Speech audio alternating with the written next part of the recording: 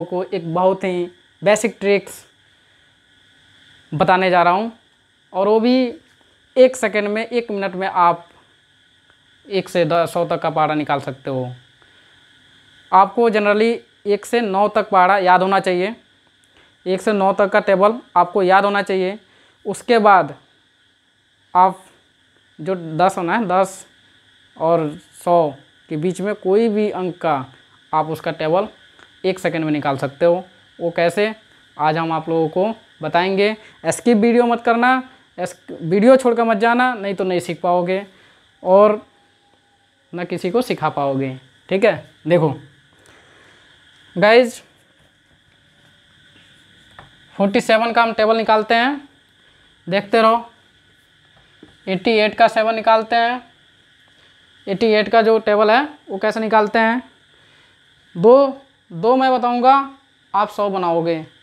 ठीक है? देखो कैसे बताऊँगा और कैसे बनाओगे आप। ये फोर का टेबल जो है, ये जो फोर का टेबल है, वो अलग लिखना है, सेवन का टेबल अलग लिखना है। फोर का देखो। फोर वन जा फोर फोर टू जा एट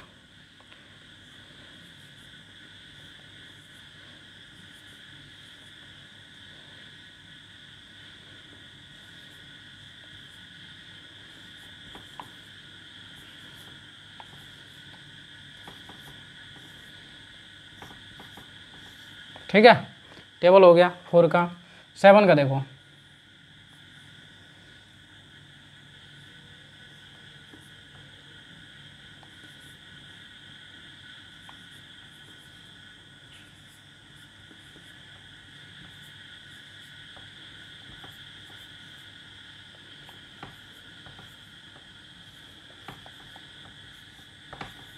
ठीक है गाइज़ अब देखो आप इसमें करना क्या है? एक मेथड है, वो मेथड आपको बता रहा हूँ। वो आप उस पर लगा दो और चुटकी में उसे पालो आप।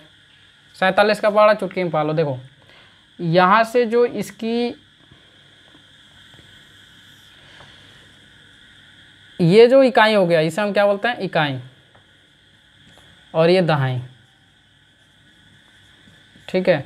फिर इसके अंक का इसे इकाई बोलेंगे, ये दहाई बोलेंगे। फिर ये इकाई, ये दहाई ये अलग अलग है ना?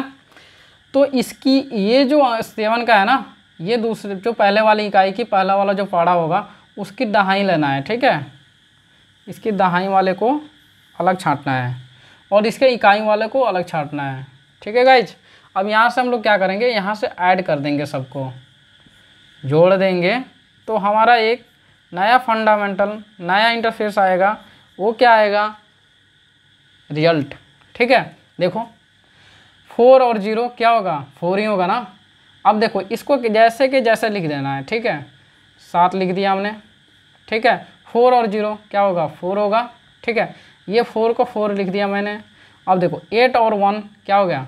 नाइन हो गया, ठीक है भाई अब देखो, वन को वन लिख दिए, टू और टू, फोर हो जाएगा। और जो ये वन है ना, वन लिख दिया मैंने, ठीक है? अब देखो, जो एट है एट का एट लिख दिया मैंने। ये जो टू और सिक्स है, इसको क्या बोल रहे सिक्स और टू, क्या होगा? एट होगा ना? और ये वन। ठीक है? अब बताओ। Five, three, two two, eight और टू। ठीक है? अब नाइन है, यहाँ देखो। आठ और चार कितना हो गया? बारह हो गया ना? तो ये बारह का दो लिखेंगे। जो एक, वो बच रहा है। उसको उधर कैरी कर देंगे तो दो और तीन, दो और एक, तीन हो जाएगा ना?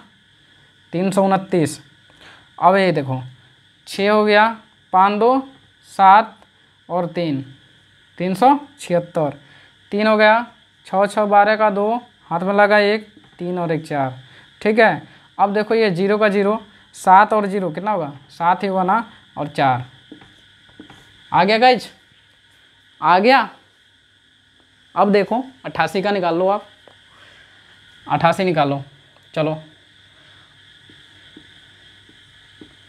अब इसका इसका टेबल अलग लिखो। आठ, सोलह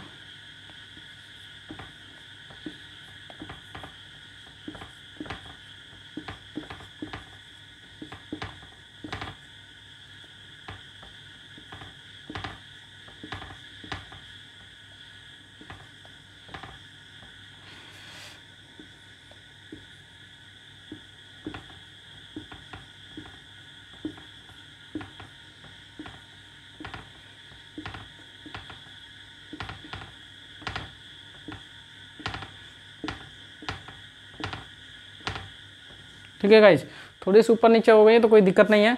आप इसका इकाई अंक लो। इसका दहाई अंक लो। और क्या करो? इसमें ऐड कर दो।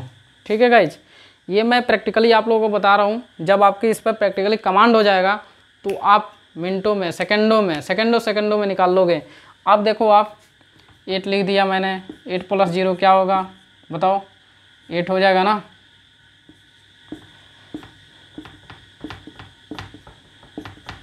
अब देखो छः का छः लिख दिया छः एक सात, एक सौ छिहत्तर, चार का चार चार दो छः दो सौ चौंसठ, दो, पाँच, तीन सौ बावन, ज़ीरो, चार चार सौ चालीस, आठ, दो, आठ, चार, बारह का दो और चार, एक, पाँच छः छः पाँच ग्यारह का एक और पाँच, एक छः पाँच एक, छः हो गया। अब देखो, चार, छः, चार, दस का ज़ीरो, छः एक, सात। ठीक है? अब देखो, दो, सात, दो, नौ और एक, सात। सात सौ बानवे और ये आठ सौ अस्सी। ठीक है गाइज़ यहाँ से क्या किया आपने? फाइंड आउट कर लिया। ये दो अंक का मैंने आपको ट्रिक लगाया हूँ। और ट्रिक का प्रयोग करके आप एक मिनट में, एक सेकेंड में आप निकाल सकते हो।